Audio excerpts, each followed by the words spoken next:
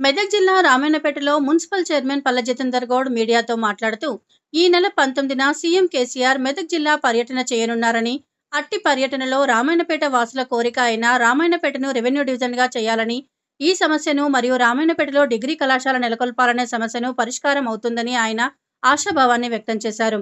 రామాయణపేట మున్సిపాలిటీలో ఉన్న సమస్యలని తొంభై శాతం పరిష్కరిస్తామని అందుకోసం ఇరవై నాలుగు గంటలు కృషి చేయడం జరుగుతుందని ఆయన తెలిపారు. కలెక్టర్ గారి దగ్గర మీటింగ్ ఉంది. అది కూడా అప్రూవ్డ్ అయిపోయింది అనుకోండి. అది ఒక ఎయిటీ పర్సెంట్ సమస్యలు మొత్తం తీర్చగలుగుతాం. అదేవిధంగా ఇంకొకటి ఏంటంటే నైన్టీన్త్ రోజు మన సీఎం గారు వస్తున్నారు.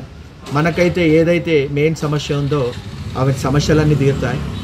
ఏది రెవెన్యూ డివిజన్ ఒకటి డిగ్రీ కాలేజ్ ఒకటి తప్పనిసరిగా తీరుతాయి.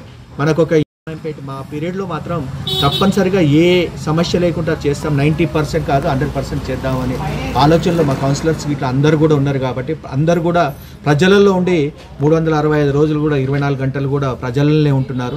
ప్రజలకు సేవ చేస్తున్నారు మా కౌన్సిలర్స్కి మా వైస్ చైర్మన్ గారికి మరొకసారి కృతజ్ఞతలు తెలుపుకుంటూ జై తెలంగాణ.